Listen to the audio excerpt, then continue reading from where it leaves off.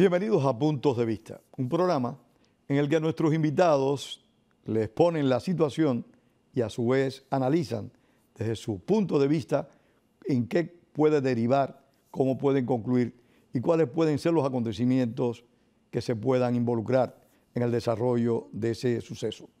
Nuestro invitado de hoy es un invitado que me atrevo a calificar de lujo.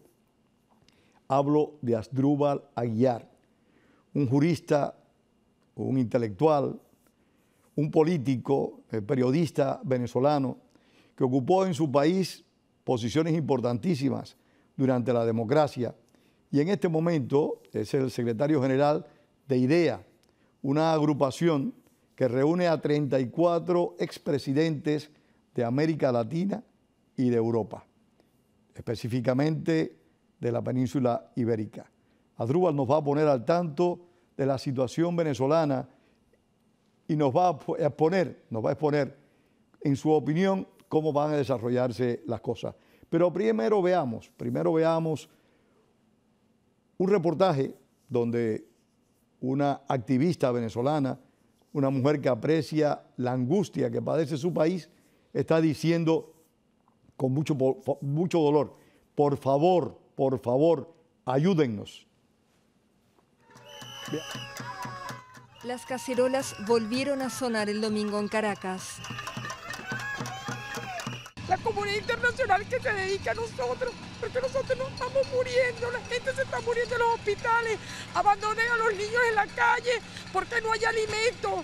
Por favor, ayúdenos, se lo pedimos, por favor. Decenas de personas salieron espontáneamente a las calles en varias zonas de la capital venezolana tras un nuevo apagón, que se suma a los cortes de luz recurrentes que sufren varias zonas del país desde hace casi una semana. Eso es algo que está en nuestros derechos constitucionales. Tener agua, tener luz, tener teléfono, poder vivir, poder vivir. El gobierno atribuye los apagones a sabotajes de la oposición para desestabilizarlo. Los apagones masivos suman dramatismo a la aguda crisis económica que vive el país, añadiendo falta de agua, problemas en las comunicaciones y merma del transporte. Adrúbal, ante que todo, gracias por estar aquí. No, gracias a ti, mi querido Pedro, por tu invitación. Realmente es un honor compartir este espacio contigo. ¿Cómo aprecias la, la situación de tu país en este momento? Vi un letrero hace unos minutos que decía 20 años mintiendo y robando. Es lógico, el castrismo lleva 60 años mintiendo y robando también. Si pudiese hacer un resumen de la tragedia que vive Venezuela, Pedro, te diría que el país está en agonía terminal. No exagero. No exageras. El sistema hidroeléctrico y termoeléctrico, que fue el más importante que tuvo el continente, está destruido y sin capacidad de generación. Si no hay electricidad, no hay agua en este momento. Si no hay electricidad, no funciona la industria petrolera. El puerto de José, del cual sale el 80% del petróleo venezolano cuando se producía, está paralizado. Si no hay combustible, no hay manera de tener el sistema termoeléctrico funcionando.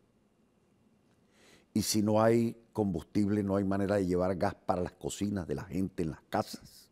No hay transporte en el país. No hay transporte, no hay posibilidad de transacciones electrónicas, la comida destruyéndose en los frigoríficos este, y en las casas. Las pocas casas que tengan comida. Exactamente. No se puede operar en los hospitales. Claro, y, y, y los muertos sucediéndose de una manera realmente tremenda. Ahí obviamente viene la primera consideración. ¿Qué esperan los organismos multilaterales para actuar? ¿O es que los organismos multilaterales se han reducido a ser medicatura forense de las tragedias que ocurren en el mundo? O sea, llegan los técnicos a contar los muertos y simplemente a elaborar la memoria histórica de lo que ha pasado. Desde el punto de vista territorial y de la estructura de poder, Venezuela es un país totalmente invadido, invadido en lo militar y en lo criminal. No exagero. ¿Invadido por quién? No exagero, Pedro. En el año 99 se pacta una macrovacuna con la FARC, la FARC comienza a utilizar el territorio venezolano como aliviadero. Tiene el control de toda la zona occidental de Venezuela. Ingresa el ELN, Que todavía, que junto con la FARC, que todavía está presente en Venezuela. Claro, este, el ELN ingresa a territorio venezolano y controla todo el sur de Venezuela, en donde se explota de manera irregular el oro y el diamante. Las concesiones petroleras que operan en la faja petrolífera las controlan fundamentalmente China y Rusia. En el año 2007, Juan José Ravilero declara, acompañado por Hugo Chávez del Estado Táchira, que sumaban 30 mil los cederristas ya instalados en Venezuela. El Granma, de hace una semana aproximadamente, confiesa que suman casi 200 mil los misioneros que han llegado a Venezuela dentro del esfuerzo mayor que se haya conocido. No hace en la mención historia de soldados ni de policías. Pero con esta particularidad, los militares rusos están en Venezuela y la Cancillería rusa acaba de declarar que se irán cuando sea necesario. Aterrizaron en Venezuela dos cisnes blancos, que son los dos bombarderos que tienen potencia mm, eh, nuclear en territorio venezolano, violentando en este caso los tratados y acuerdos internacionales. Este, y se niega cualquier forma de auxilio humanitario que no sea el que acaba de llegar en este momento suministrado por China. Y el control de las ciudades lo están ejerciendo grupos de exterminio paramilitares armados por el propio gobierno. Y tengo entendido que en estos días dislocaron en las proximidades de Caracas varios sistemas antimisiles S-300 de fabricación rusa. Bueno, que eh, específicamente eh, se comenta que fundamentalmente la tarea de la misión rusa que llegó a Venezuela tiene con directamente eso. ese propósito. Así que Venezuela es un país que humanamente está postrado de manera total y absoluta y que está secuestrado por una estructura criminal y con una intervención militar manifiesta por parte de potencias extranjeras, fundamentalmente cubanas, rusas y chinas. Por eso afirmas de que Venezuela está invadida por esos factores, más la FARC y el ELN. Y el sector criminal. Bueno, algunos afirman, y en eso nuestros amigos Horacio Medina y Carlos Sánchez Berzaín son muy enfáticos en decir que Venezuela es la primera muestra de un gobierno que responde totalmente al crimen organizado. Mira, es que no es un secreto porque cuando en agosto de 2007, y hago la referencia. Hace 12 años atrás. Agosto eh, de 1999, hace 20 años atrás, renuncia el jefe de la policía política venezolana, el comandante Urdaneta Hernández, que había participado en los golpes del año 92, junto con Chávez. Jefe de la policía política renuncia por qué razón? porque Hugo Chávez ya había pactado con el sector del narcotráfico colombiano. Y en ese pacto que está documentado, había el compromiso de suministrarle insumos químicos a la guerrilla para la producción de narcóticos, el suministro de armas, el pago con droga a Venezuela, el uso de banca venezolana para el lavado de los dineros, el uso del territorio venezolano como aliviadero de esa estructura de Una- violencia una centina. ¿Ah? Una centina. Así es. Entonces, son 20 años. Y esto explica, este es el último dato, por qué razón de 4.500 homicidios que sufría Venezuela para el año 98, cuando yo dejo el Ministerio de Relaciones Interiores, el promedio salta a 27.000 homicidios al año, producto de los ajustes de cuentas de la lucha criminal por los territorios contaminados fundamentalmente por el consumo y el comercio de las drogas. Bueno, realmente ha sido alarmante el índice de la criminalidad, el aumento de la criminalidad en Venezuela. el más alto del mundo occidental en este momento. Una situación precaria. Ahora, Drúbal, hay que reconocer que, que el, el mundo occidental, las democracias latinoamericanas en particular y Estados Unidos específicamente, han sido muy solidarios con los demócratas venezolanos. Se han creado eh, agrupaciones que han hecho denuncias, que se ha pretendido hacer alianzas firmes con la oposición y particularmente con el presidente interino Juan Guaidó. Esa, esa ayuda, esa internacionalización, ¿tú crees que ayude o realmente está perjudicando a la oposición? Mira, es que no hay posibilidad de resolver el tema interno sin un auxilio internacional. No hay posibilidad porque una sociedad que entra en el nivel de postración como está la venezolana y comienza a vivir bajo la línea de supervivencia, en donde la desesperación cotidiana es conseguir un vaso de agua o algún punto en donde cargar un teléfono para poder comunicarse. Bueno, esto necesariamente castra y disminuye la fuerza y la capacidad que pueda tener la población venezolana, a menos que se produzca en los días inmediatos, en razón de esta situación que se está viviendo, una suerte de explosión social que se transforme en un tsunami y que arrase con lo que queda eh, eh, de la estructura en el país. En esta medida, en esta, situación, en cierta medida, el gobierno de Nicolás Maduro no neutraliza la primera eh, ofensiva de la oposición venezolana sobre la ayuda humanitaria cuando la Cruz Roja ha logrado que el Estado venezolano, Maduro en particular, acepte que la, que la ayuda ingrese? Vamos a ver un reportaje de la agencia AFP, con tu permiso, que nos evidencia este compromiso de la Cruz Roja y la ayuda que se espera pueda recibir el pueblo venezolano tan necesitado de alimentos y medicinas. Finalmente, ayuda para Venezuela. La Cruz Roja anunció que estaría llevando ayuda humanitaria inminente al país, sumido en una severa crisis por la escasez de medicinas, alimentos e insumos hospitalarios. Estimamos que en un plazo de aproximadamente 15 días estaremos en la capacidad de dar inicio a brindar la ayuda que nos hemos comprometido. El ingreso de asistencia se ha convertido en uno de los elementos centrales del pulso por el poder entre el mandatario Nicolás Maduro y el líder opositor Juan Guaidó, reconocido como presidente encargado de Venezuela por más de 50 países, encabezados por Estados Unidos. El régimen reconoce su fracaso al aceptar la existencia de una emergencia humanitaria compleja que ellos mismos produjeron. Nosotros somos listos a hablar con todos. Aunque la Cruz Roja advirtió que no se trata de victorias y que el objetivo es salvar vidas. La ayuda beneficiaría a 650 mil personas en un primer momento. Roca comparó su tamaño con la operación que el organismo lleva adelante en Siria, sumida en una guerra civil. Adrúbal, yo no tengo duda que la ayuda internacional hace mucha falta. Y ojalá el pueblo cubano en su lucha contra la dictadura consiga un nivel de ayuda como el que estamos viendo a favor de Venezuela, que me parece que es importante.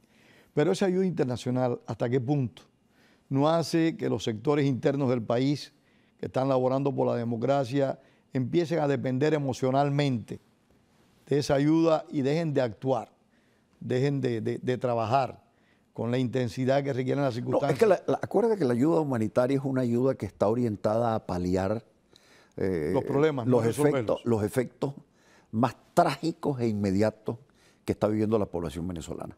Hay una oferta de la Cruz Roja Internacional en donde ellos reconocen inclusive sus limitaciones, porque no podrían este, dar ningún tipo de asistencia que vaya más allá de 200, 300 mil personas. Esta es una situación que está padeciendo la totalidad de la población venezolana, que son en este momento 24 millones de personas no exagero, la está padeciendo la totalidad. En este momento la víctima es el pueblo venezolano. Solo el gobierno y sus partidarios reciben son los únicos que, tienen, son los únicos que tienen algún tipo de posibilidad de, sobrevivir en medio de estas circunstancias. Ahora, eh, ha hecho un esfuerzo tremendo de acompañamiento internacional el Grupo de Lima, dentro de ellos los Estados Unidos también. La OEA. Eh, la Organización de los Estados Americanos, Almagro, o sea, se han adoptado las sanciones internacionales que eran indispensables. Y por cierto, debo señalar esto, que el, cronograma que se fija la oposición venezolana bajo la conducción de Juan Guaidó como encargado de la presidencia de la República en su calidad de presidente de la Asamblea Nacional, es el cronograma exactamente igual al que aplicó la Organización de los Estados Americanos en julio de 1979 para desalojar a Somoza. En aquel momento, bajo el aplauso del movimiento sandinista, se le tuerce la mano al principio de la no intervención y está la resolución de la OEA en donde se dice no se puede esgrimir el principio de la no intervención para sostener violaciones masivas y sistemáticas de derechos humanos. ¿Qué hacer al respecto? Decide la OEA. Cese absoluto del régimen del señor Somoza en todo su estamento. Segundo, construcción de un gobierno de unidad nacional. Tercer paso, elecciones generales para una vuelta a la democracia. Esos son los tres pasos que casualmente se están ejecutando en Venezuela. Pero hay una diferencia, mi querido amigo, y es que en ese momento los sandinistas estaban instrumentando una ofensiva importantísima que a la larga no fueron esas sanciones las que determinaron la partida de Somoza, sino el, movimiento sandinista que lo derrocó. Así es, así es. Y en Venezuela, Venezuela, eh, más allá del coraje que indiscutiblemente está demostrando eh, la oposición y el pueblo que lo respalda, eh, en la opinión de muchos analistas hacen falta acciones más dramáticas. Yo escuchaba hoy, temprano en la mañana, a un comentarista radial hablando que sería importante que el país fuera una especie de huelga general como aquella que vimos en el año 2001 o 2002, si mal no recuerdo. Pedro, Pedro, Pedro. ¿No lo crees posible? Sí, sí, Yo, yo debo decirte lo siguiente. Te escucho. Cada vez que yo escucho a actores de la comunidad internacional e incluso a miembros de la Fuerza Armada diciendo por qué el pueblo no está en la calle. Y yo digo, es que no han observado que durante 20 años los muertos los ha puesto el pueblo venezolano. Sin duda alguna. Que durante 20 años el pueblo venezolano lo que ha hecho es marchar masivamente contra el régimen. Lo ha demostrado. Que el régimen lo que ha hecho es reprimir, encarcelar a miles de ciudadanos y los ha torturado. Y las manifestaciones que han tenido lugar en Venezuela no tienen punto de referencia en la historia. Y uno dice, bueno, este, una manifestación que paralice al país. El país está paralizado. No tiene electricidad, no tiene agua, no funciona el metro. La gente no va a trabajar. Sin duda alguna, el gobierno más ineficiente posiblemente que ha tenido América ha sido el de Nicolás Maduro. Sí, no, e, e, esto responde básicamente a una estrategia de despojo material y moral de la vida venezolana, instrumentada por una organización criminal que secuestró al poder y que transformó a Venezuela fundamentalmente en un Estado criminal. ¿Tú consideras que esto está planificado y que está instrumentado de una forma, llamemos, eh, científica? Esto está organizado porque desde el noviembre del año 2007, 2004, cuando Hugo Chávez pierde el referendo revocatorio, pero se desarrolla un fraude dentro del Consejo Nacional Electoral, tapándose los ojos la comunidad internacional, instrumenta la nueva etapa, el nuevo mapa estratégico de la revolución bolivariana. Y ahí está dicho todo. Ya. Ahí está fijada toda la estrategia interna, la estrategia militar para transformar el mundo militar este, bajo la doctrina de la guerra simétrica, el tratar de liquidar lo que llamaban ellos en esa época el eje monroísta latinoamericano, que era Bogotá, Quito, Lima, La Paz, Santiago de Chile, este, y tratar de apuntalarse con el eje revolucionario que era fundamentalmente Brasil y Argentina. Objetivo central, confrontar contra los Estados Unidos.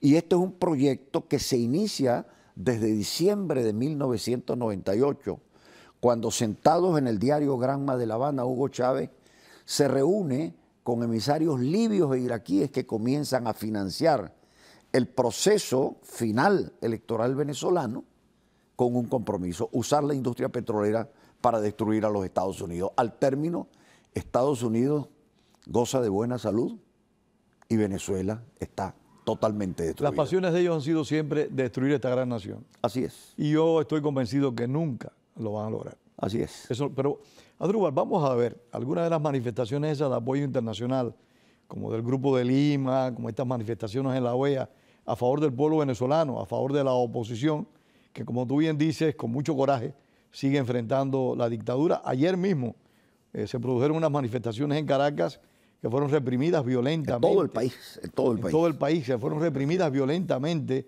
por los esbirros eh, del madurismo. Veamos, veamos estas grabaciones que nos tiene nuestro productor, estas informaciones.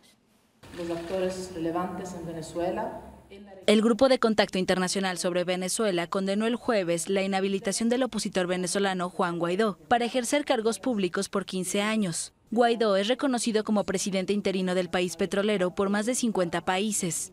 Y quisiéramos enfatizar una vez más nuestro firme rechazo al uso de la fuerza como medio para abordar la crisis actual. Al mismo tiempo, condenamos firmemente cualquier violación de derechos humanos y libertades fundamentales y hacemos un llamado a la plena restauración del orden constitucional democrático y del Estado de Derecho. El documento del Grupo de Contacto Internacional sobre Venezuela agrega que la inhabilitación de Guaidó no considera el debido proceso y es una demostración más de la naturaleza arbitraria de los procesos judiciales en el país petrolero. La Contraloría venezolana, dirigida por el oficialista Elvis Amoroso, sancionó el jueves a Guaidó, argumentando que el jefe parlamentario no ha justificado gastos realizados en el país y en el extranjero, con fondos supuestamente provenientes del exterior. Guaidó desconoció en un mitin político la sanción, alegando que el líder de la Contraloría fue designada por la chavista Asamblea Constituyente, que considera ilegítima. Sacan del bolsillo. Sacan un tipo también que ellos designaron de manera irregular a decir que me iban a inhabilitar ¿De verdad?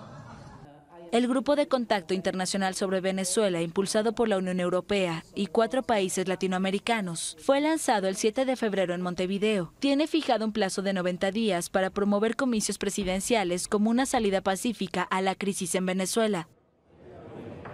Rubal, ¿qué más puede hacer la comunidad internacional? Y después quiero que me digas, en tu opinión, qué más se puede hacer al interior del país, de Venezuela. Mira, desde el punto de vista de la comunidad internacional, yo les pediría que ellos hagan aquello que tanto le aconsejaron a la oposición venezolana y la oposición venezolana les hizo caso. La oposición venezolana logró unificarse alrededor de Juan Guaidó. Muy cierto. Y tiene una conducción que más allá de las diferencias que puedan existir tácticas o estratégicas en el orden interno, hay una actitud responsable y unitaria. En la comunidad internacional, ¿qué ha ocurrido? No se logró la unidad dentro del marco de la Organización de los Estados Americanos y surgió el Grupo de Lima.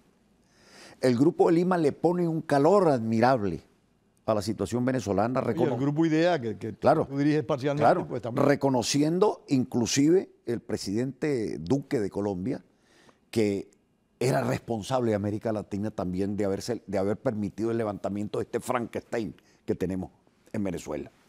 Pero en la medida en que viene funcionando el Grupo de Lima, se produce un cortocircuito.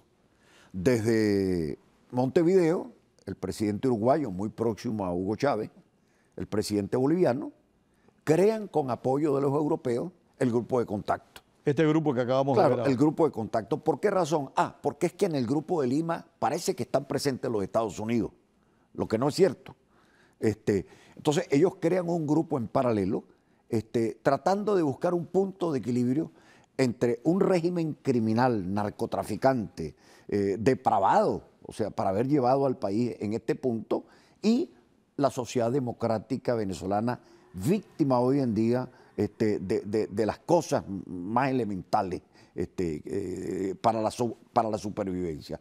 Ellos siguen imaginando la posibilidad de una suerte de proceso electoral, pero me pregunto yo, ¿cómo logran tenerse unas elecciones libres y democráticas en un país que ha dejado de ser independiente, en un país que está militarmente tomado por fuerzas prácticamente ocupado. Prácticamente ocupado por fuerzas militares y criminales.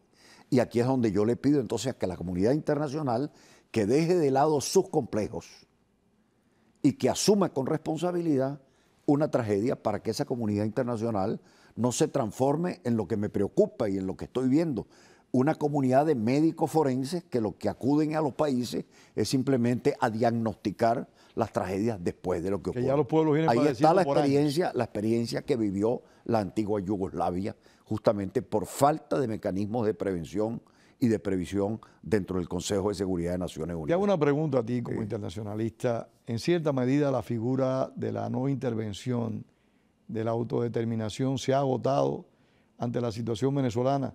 Hay un término que en los últimos años ha cobrado mucha vigencia, la injerencia humanitaria, lo que en el año 79 la resolución de la OEA hacía valer en relación a, Anastasio Somoza, de que no era permitido un régimen de las características del de Anastasio Somoza. Considera que es hora ya de que esa injerencia humanitaria se ponga en práctica, que la OEA en particular logre establecer un concierto de, de- naciones para que actúen. Lo grave, lo grave de todo esto, este, Pedro, es que cuando se hace, se trata de hacer ejercicios retóricos en materia jurídica internacional y diplomática, este, sobran resoluciones que acompañan ese tipo de planteamientos. Pero cuando se trata de ir a la práctica, la primera medida que se toma es tirar por la borda el patrimonio jurídico y, y- y ético que nos lega eh, la Segunda Gran Guerra este, con el Estatuto de la ONU. Entonces vienen las interpretaciones descontextualizadas, porque es cierto que rige el principio de la independencia, que implica la no intervención, que implica la autodeterminación, que implica también la obligación internacional de no acudir a medios violentos para resolver las controversias internacionales. Pero hay una norma de orden público internacional que nace en la Segunda Guerra sobre el holocausto que limita todo eso. ¿Qué significa? No puede esgrimirse la no intervención o la autodeterminación para encubrir violaciones masivas y sistemáticas. Como está ocurriendo en. Venezuela. Eso no puede ocurrir.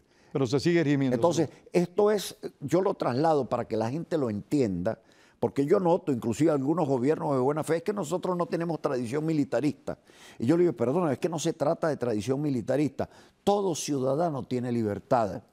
Y todo ciudadano tiene libertad hasta el punto en que no viola las normas de orden público. Y cuando acude la policía, no acude en forma de mecanismo de intervención en los fueros libertarios del ciudadano, sino que actúa un mecanismo que está consagrado en Naciones Unidas y en donde se permite el uso de la fuerza legítima en los casos de legítima defensa, en los casos en que tenga que actuar el Consejo de Seguridad de Naciones Unidas.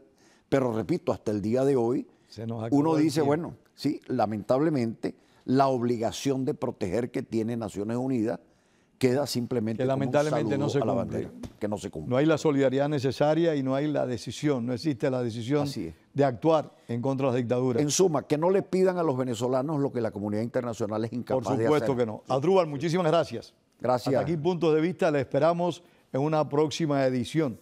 Esperamos que este programa haya sido del agrado de ustedes y que ustedes, al igual que yo, hayan aprendido algo. Gracias, Adrúbal. Muchas Bye. gracias, Pedro.